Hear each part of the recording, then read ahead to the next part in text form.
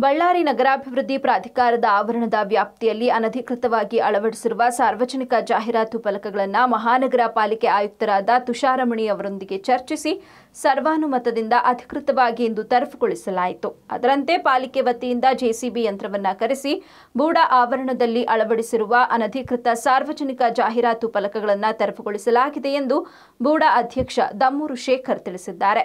ಇದೇ ಸಂದರ್ಭದಲ್ಲಿ ಮಹಾನಗರ ಪಾಲಿಕೆ ಆಯುಕ್ತರಾದ ತುಷಾರಮಣಿ ನಗರಾಭಿವೃದ್ಧಿ ಪ್ರಾಧಿಕಾರದ ಆಯುಕ್ತ ಈರಪ್ಪ, ಪ್ರಾಧಿಕಾರದ ಸಹಾಯಕ ಕಾರ್ಯಪಾಲಕ ಅಭಿಯಂತರ ರವಿಶಂಕರ್, ನಗರಾಭಿವೃದ್ಧಿ ಪ್ರಾಧಿಕಾರದ ಹಾಗೂ ಮಹಾನಗರ ಪಾಲಿಕೆ ಸಿಬ್ಬಂದಿ ವರ್ಗ ಉಪಸ್ಥಿತರಿದ್ದರು.